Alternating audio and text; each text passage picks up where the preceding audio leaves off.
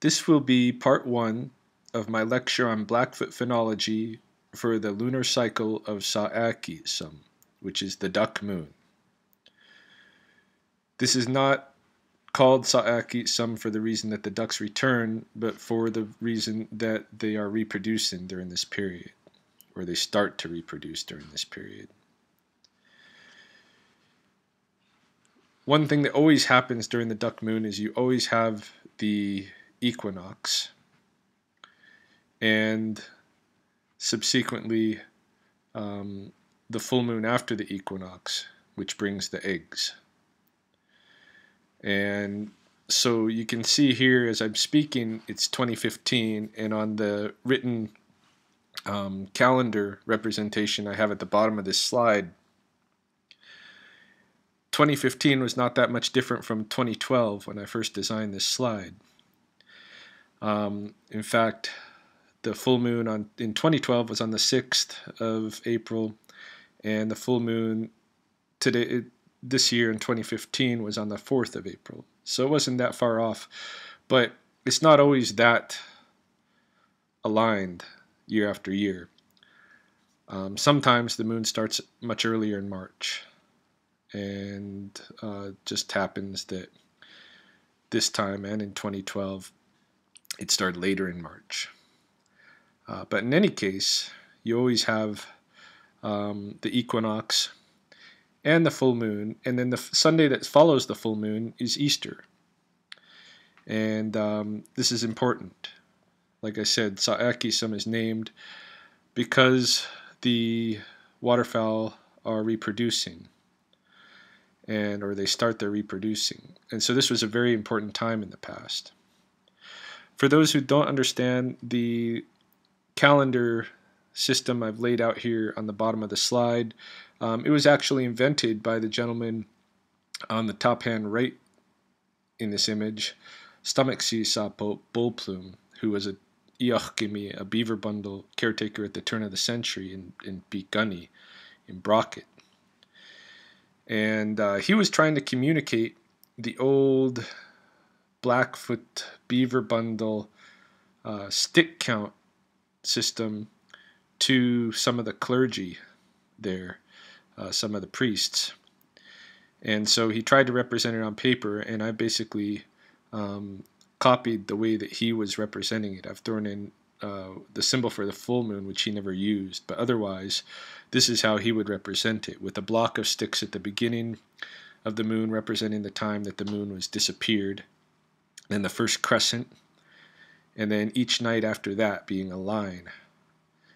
And um, those little cross symbols representing Sundays so that he could um, correlate it to the Gregorian calendar for the purposes of communicating with the priest. But it is important to understand and appreciate that Sa'aiki'somm is not the month of March as people often represent it as um, in various calendars that have been blackfootized. Uh, a lot of times, this term Sa'aiki'somm is just grafted over the regular Gregorian month of March, and that's really not what it is.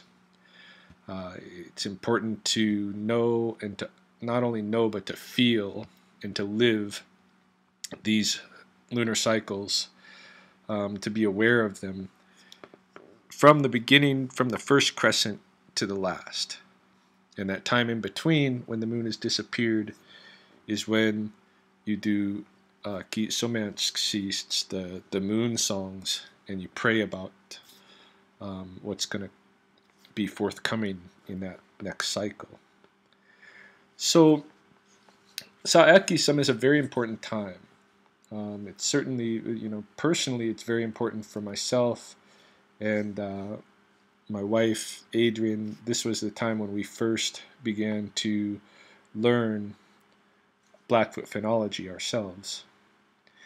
Um, and it was very important in the past because this is when the winter famine is broken by the advent of new food in the form of waterfowl eggs. Now, here at Spopikimi, which is my primary study site and has been for about eight years now. Um, you can see that the waters at the beginning of Sa'aiki'somm uh, start melting if they're still freezing. And here we got about a half a melt going on. Similarly, along the Old Man and St. Mary's rivers near my house, the waters are ice free by this time. And this is the cue for the Opspini, the Canada geese, to begin their mating. Um, already through Pitaki, some we would have seen these geese starting to pair off and begin to claim, lay claim to uh, particular islands, usually, where they want to um, situate their nests. If not islands, at least nest sites.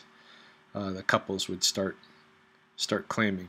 A lot of times you'll see a couple with a third member, and that could very well be their gosling from the previous year. As things get underway, that, that gosling will get chased off. He'll get pushed away. Um, and it'll just be the goose and her gander. You know that things are getting serious when you see this behavior. This is a goose who is trying to hide. Who's trying to, you know, this is literally laying low in the water, trying to um, be concealed. And it's very likely that the reason she's trying to be concealed is either because there's a um, there's a gander nearby who's not her husband and she doesn't want to be mated by him. Um, but often, more often, that she has eggs concealed nearby and she doesn't want um, anybody to notice her. Geese are very conspicuous species. They're built, their bodies are built for the tundra. Um, and they stick out like sore thumbs um, if, if they're not hidden. And they can be very relatively um, camouflaged in certain situations, but for the most part, they, they stick out. So you may see this behavior. You're certainly going to see a lot of aggression going on um, as the eggs are being laid and as the nest um, sites are being defended. You may see this behavior, which is the actual mating of the of the geese. Um, first time I saw this, I thought this gander is trying to drown this other gander, but uh, in fact, this is the the geese mating. Um, you will see something similar where ganders are fighting, but when they're doing that, um, the gander on top will be biting the other one fiercely. Uh, won't be like this. And then around the time of the full moon, which is basically the hallmark for Easter, you'll get your first geese sitting on nests. And this is a goose who's uh, actually taken a uh, muskrat lodge and piled some extra reeds, cattail reeds, um, on top of it, um, or those might be bulrush reeds, and is using that as a as a nest island, kind of a homemade nest island. Um, so when we think about Easter, you know, Easter is obviously something that comes from Europe, from the European tradition. Um, it has pagan associations in Germany and such. Uh, but the the real celebration of this time is, you know, circles the globe. It's all over the northern hemisphere, and we had our own version, which is the opening of the beaver bundle at the end of winter. Um, that would be the big celebration uh, that includes the eggs. Um, you know, in, in Germany, you have the Easter egg hunt, or you would have had the Easter egg hunt, and that's the part of the ceremony that's been commodified and um, you know changed into something very kind of Disney-ish for children to go hunt plastic eggs or home colored eggs and this kind of a thing inside the house or what have you. Uh, in reality, this is the time you know, Easter Day, you could go actual Easter egg hunting and you would be successful uh, if you knew what you were doing in finding eggs. Um, so this was, and this was so celebrated, not because of like, because of fertility, um, certainly not because of an association with any resurrection, you know, although both of those are symbolic, right? A resurrection of life, the fertility that brings new life.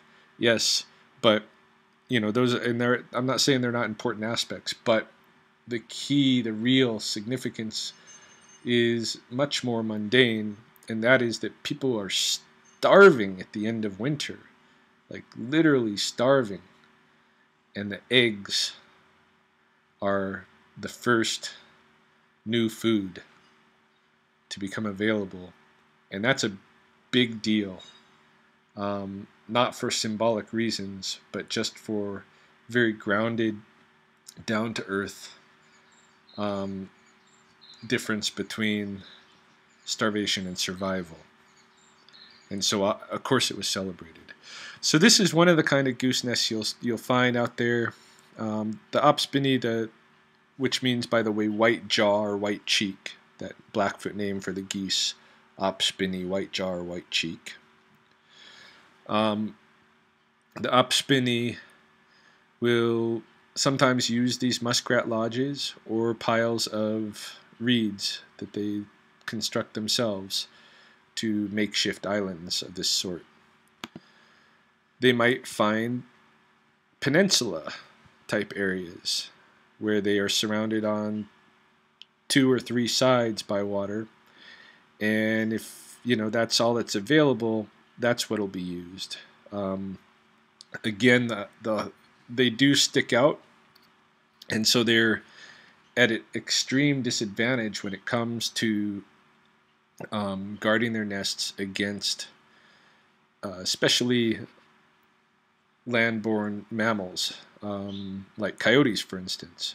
What is a goose to do if a coyote comes up upon her and she's not on an island, comes upon her nest? She's not going to win that fight and uh, the coyote's going to get the eggs. I mean, the nine times out of ten or more than nine times out of ten, I'd say she's not going to win that fight.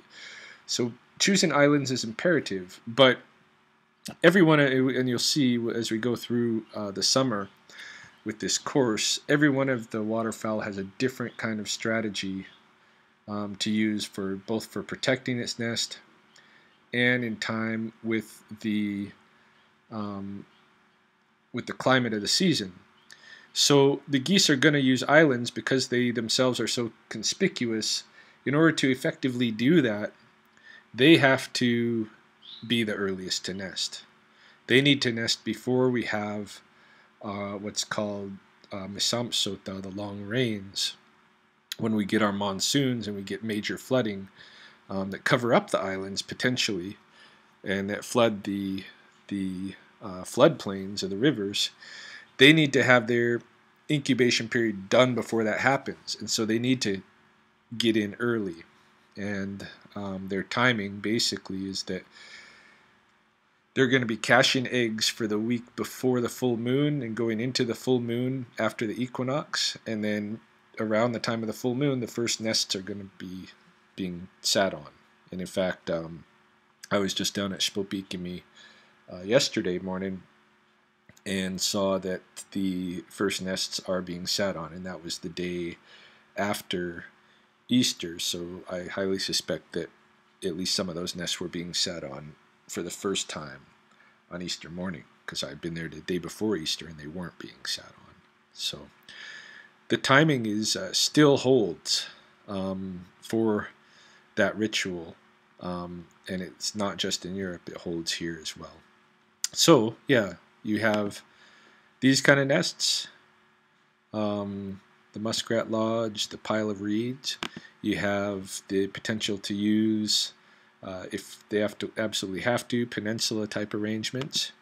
You have actual islands, and if you have a nice big island like this, um, the geese tend to be less defensive with each other, and you'll have kind of a community full of nests. In fact, On these large islands, you might find that more than one goose deposits eggs in a nest. I've found nests with upward of 20 eggs inside of them, where typically the average number that I find is five to seven eggs in a nest. Um, I think generally a nest can have anywhere from 1 to 13 eggs if it's laid by a single goose, but um, far more often the number is somewhere around 5 to 7 and then you get a big island island like this you might have as many as 20 eggs in a nest um, that have obviously been laid by several geese um, but are being incubated I'm assuming by one that's an assumption though I haven't actually studied to find out whether multiple geese will um, incubate those nests that have multiple gooses eggs in them um, a lot of times a goose will choose something that looks islandish. something that sticks out from the surrounding territory. Um, this is a, a, up by the front tire of this bike. Uh, you'll see, see a nest with one egg in it. This bike was embedded in um, a sandbar in the middle of the river. So it's an island on an island, in a sense. Um, geese will use the anchors the uh, of uh, bridges. This is the high level bridge, uh, the railroad trestle in Lethbridge, and a goose couple is using uh, one of the concrete anchors as a nesting site. And unfortunately, this is a terrible choice of a nesting site um, because there's no nesting material. I mean, it's a great island for sure, but uh, the mother goose will pull her down out to try to use her down as a nesting material. Um, but as soon as we get a big wind, that nesting material blows away. Now, the blood that you see spattered here has nothing to do with the eggs themselves per se. I mean, except that it was caused when the mother laid the eggs, and she may be a first-time mother. Um, this this goose, which uh, or she just may have had problems with laying her eggs. I don't know, but certainly she was she was losing some blood um, in the process, and one of those eggs is cracked from landing on the concrete. Uh, if we were, you know, good human beings in this ecological system, we would recognize that the geese are going to use the concrete anchors of our bridges as islands and we would put some kind of material on top in this season for them so that they could be successful in their in their uh, nesting on those islands. Just my own personal perspective. Occasionally, you will get a goose who is nesting in a uh, tree, uh, using often an old hawk nest, um, like this one. This was a Swainson's hawk's nest um, you you might get geese uh, very high up in uh, in the forests, um, in the trees near a water source. Now this tree is right next to Spopikimi. It's part of the floodland or floodplain uh, forest. It's a big cottonwood, and it's a Swainson's nest that this goose took over. And the year that this happened, um, she actually incubated almost a term. We were like a day away, and we had the biggest windstorm, and it blew over this nest. And all but one, a hatchling, um, were killed. Uh, but one survived. I call that one miracle. And uh, in the moon to come, Machi Kapasaki, some the frog moon, I'll tell you about the adoption of miracle. Because a lot of times when a goose has just one gosling, um, that kind of puts the gosling in danger. The gosling does, you know, is, is in less danger if it's with a group of other goslings. And so, uh, in the event that there's just one or two, sometimes you'll have, oftentimes, I, I think you'll have an adoption scenario um, where where that single gosling goes to live with another family. All right, so before they're actually incubating, um, if you want to find nests, you have to know uh, kind of what to look for. I mean, one of the signs, like I showed you, geese laying low, geese being extremely aggressive, you can kind of use the hot cold method um, to find egg caches when the geese are very aggressive. But geese personalities vary quite a bit, even among the same species as Canada, Canada geese, Opspini. Um, there's one goose couple at Spopikimi at the pond that is famously aggressive, uh, and I'll show you them in a, in a moment. But there's others uh, who will back off completely off of their eggs, and um, so one of the keys to nest survival is is how well the the caches are hidden. Um, this is an egg cache on a uh, sandbar island amongst some willows on the river. Right almost dead center in the picture, you can see kind of leaves piled up um, that just look like leaves that have fallen off of the willows if you're not looking carefully. But if you have an eye for it, you can see that this is actually a circular pile of leaves that's a little bit odd, just a little bit odd. And that circular pile of leaves is hiding, concealing a cache of eggs. When you dig in, there's some eggs. Um, so this is, you know, an egg cache may look like this. It may be more like a round disc of uh, clipped grass. So it's going to be something, though being used, whatever the surrounding material is, if, if there is surrounding material, to conceal the eggs as they're being cached. And the, and the parents will not stick right over top of them most of the time. Like I say, and there are ultra aggressive couples who will defend their egg caches um, quite strongly. And the technique that I use when I go out to collect eggs is that, first of all, I want to get them during this period when they're being cached. Because once a goose is sitting on a nest, um, the incubation goes pretty quick. I mean, we're talking one lunar cycle, so 28 days of incubation from a single cell to a gosling. And so that's pretty quick. So things are changing in there rapidly every day. If you're several days into incubation, you're going to open that egg. It's going to be kind of a bloody mess. Um, now, in the past, people might not have minded so much that there's a little blood in there. It's not that big a deal.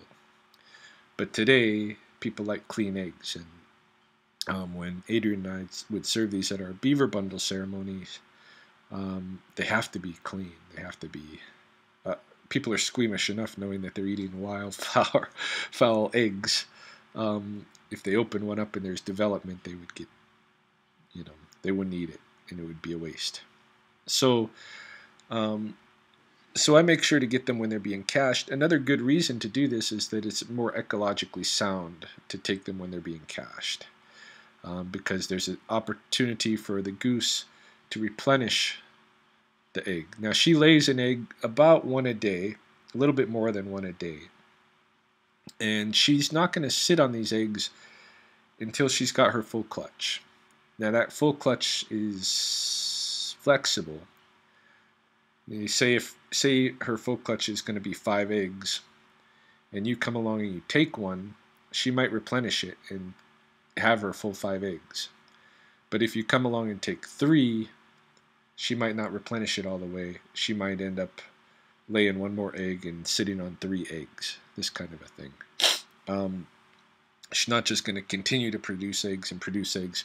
She's got to start sitting on them um, because the timing is important, as I already said, for the flood. So that's programmed into her genetically. Um, she's going to start incubating those eggs pretty quick. So I try to get them during this cache, caching period.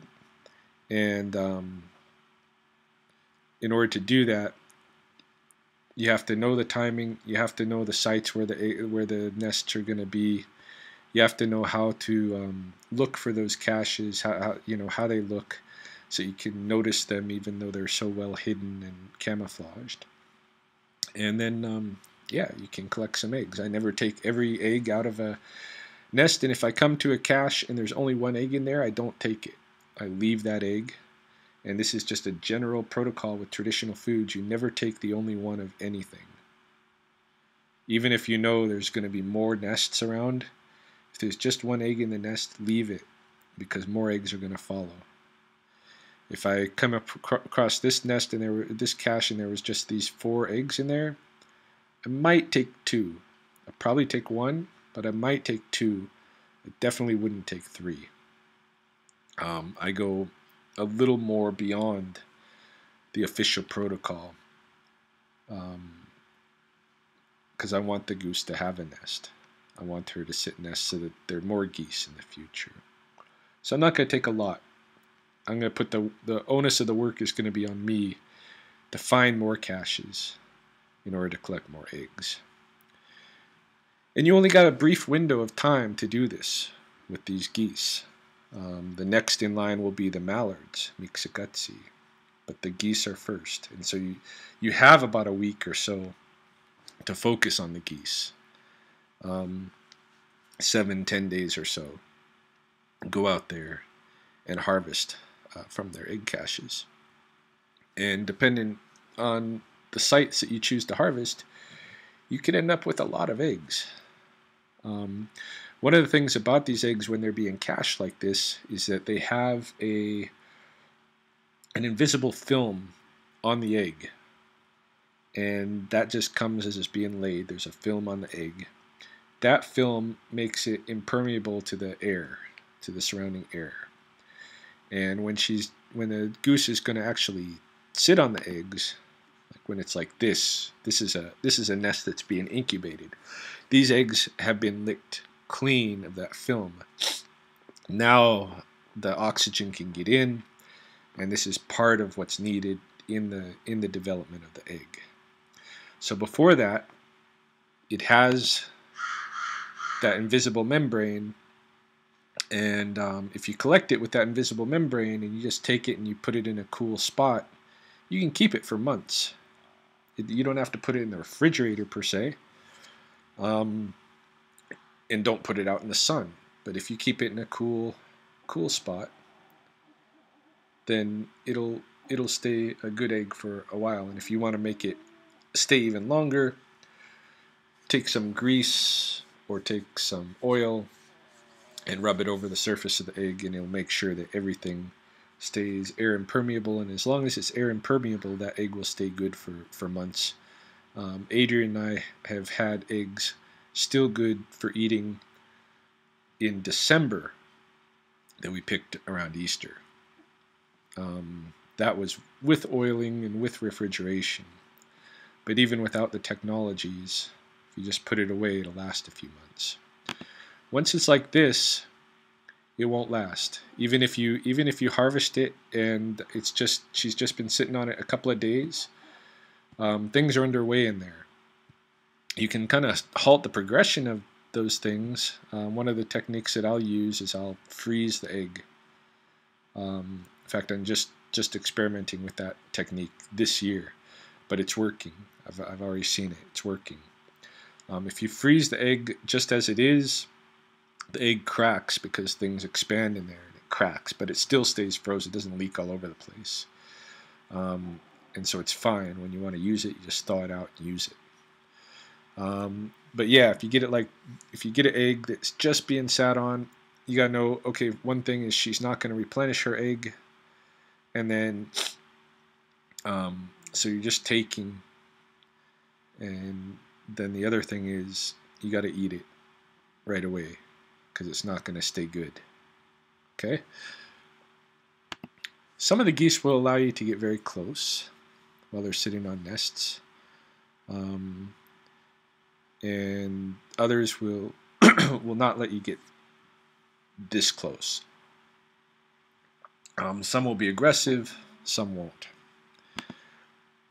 This mother was one of the ones at the pond who was year after year allowing me to get very close to her. Um, a lot of times you'll just find the, the mother goose sitting there, and her gander will be off somewhere else. I mean, probably within sight. Sometimes not even within sight. That's a bad husband. But the best ganders stick right by their goose's side. And in this image, um, you probably can't see it too well, but there's a gander standing on a little island watching over his goose who's incubating a nest right beside him on this other island, this flotilla of old beaver food. This is a good a good husband standing by his wife. Um, the couple that really trained Mahoney and I, Adrian, in the phenology um, was well, this was the goose of that couple, and she was very defensive. She has an egg cache here, and she's standing right over top of it, and she's gonna lay down her life before she lets us take any eggs from her cache, and we never have taken any eggs from her cache. We've always just been there to watch her family develop over the summer in the years when she succeeded. So she's very defensive. This is her husband. Her husband is on the spot. He's the toughest one, toughest gander on the whole pond. You can see his nose is all roughed up. Um, that's one of the ways I identify him every year. Another way to identify geese as individuals is by that white chin that they have. Each one has a little bit of different shape to it. I don't know if you can if we can go back and look at look at his look at the shape of his chin, his white coloration. Look at hers. You see that sharp angle on hers at the top? See everyone's a little bit different and you can get to recognize individual geese by looking at those white spots. You don't have to tag them or that kind of thing. You can just come to recognize them as individuals by their unique features, the same way we recognize humans. Uh, my own personal feeling is that it's a laziness to tag birds. Um, it's a laziness to come up with a with a better, not to come up with a better system uh, that's less intrusive on them. Um, any case, he's a tough guy. He, uh, like his wife, is going to lay down his life uh, for the eggs. This is him. That's her beh behind him. They have an egg cache. There's no way I'm getting to it. They're going to fight it out. And I see him fighting, I don't know, dozens, dozens and dozens of fights um, during the during the nesting period um, with other geese and with other animals. Uh, certain birds, like even if they're on an island, they're still susceptible to predation by certain birds and other geese.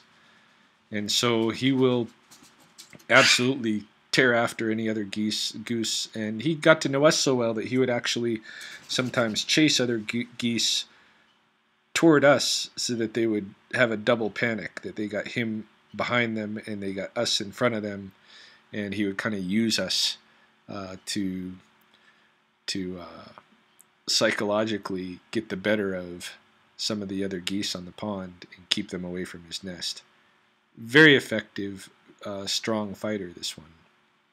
And he has to be, because as I said, there's predators. There's coyotes, there's weasels. Um, I don't know if muskrats would even bother it, with it. I kind of doubt it. Uh, but there's skunks, there's raccoons, there's you know various carnivores um, and omnivores, mammals um, in the floodplains. But then there's also the avian species, and one of the ones we see a lot here, who come in right around the time the nests are, the eggs are being laid, uh, who return here from the ocean, are the ring-billed gulls, gai and they just have the black ring on their gull, on their beak. Um, gai is a generic Blackfoot word for all gulls. It's kind of like how in English everybody just says seagull. In Blackfoot they say gai, but of course there's many different types of gulls, and so there may have been more specific names for these in Blackfoot in the past. Uh, but what we're left with today is gai until we come up with some new names. So this is Gai, and Gai loves to eat waterfowl eggs. Um, that's his main feast when he comes back here, uh, aside from trash and stuff that we leave out. I think this one might be eating part of a bagel or something in a parking lot near my home. But yeah, they're all over the place where the where the nests are, are happening. And a lot of times you'll find nests that have been assaulted by the guy, um, eggs that have been opened up, that kind of thing. You also have this scenario, um, which I don't see as often as the kai, but you might have a pelican um, coming around snooping at the eggs. And here you have a gander giving chase to a pelican um, while his wife sits steadfast on her nesting island. In Blackfoot, these American white pelicans are called Aisipissa, Aisipissa, uh, which refers to the to how they've got their um, looks like there's water in their in their pouch under their mouth, and um, we usually see their return during this moon. I'm surprised I haven't seen them return yet, but I expect them any day. Uh, tonight I'm supposed to meet some students down at the pond. I wouldn't be surprised if there's Aisipissa down there already, but we'll see. Very pterodactyl looking bird, and I've never known these birds to be represented in any Blackfoot bundles, although um, that may just be part of the tradition, the culture that has been um, lost through colonization. And we may still be able to get gifts uh, returned from these birds today uh, if we pay attention to them. Another one that I've never seen actually go after a goose nest, but I wouldn't doubt if it would, would be Mohgami, the, the great blue heron. Um, great blue herons return around the same time as the geese are starting their, their nesting. Um, typically, what a great blue heron is made to do, you can see they got their long legs. Um, that's so that they can wade in the water and their legs look like the stems of reeds uh, to passing fish. And so they can just move very slowly or even stay still and um, catch fish up with their beak. Um, but I do, I have known them to open up baby turtles and the shells of baby turtles.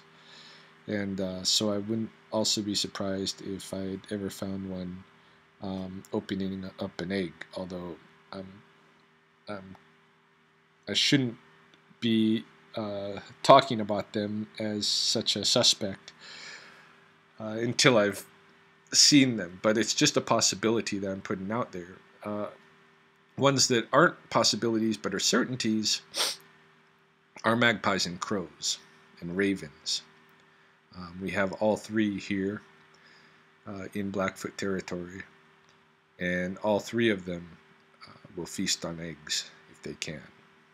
And they are very, very observant. The corvids, um, highly aware of everything in their environment, and you better believe a lot of eggs are lost to the corvids.